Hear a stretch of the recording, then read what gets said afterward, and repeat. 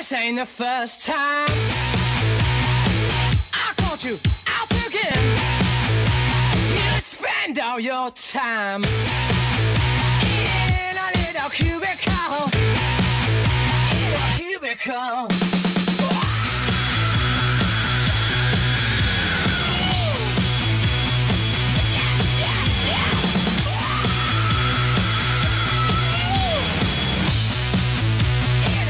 come.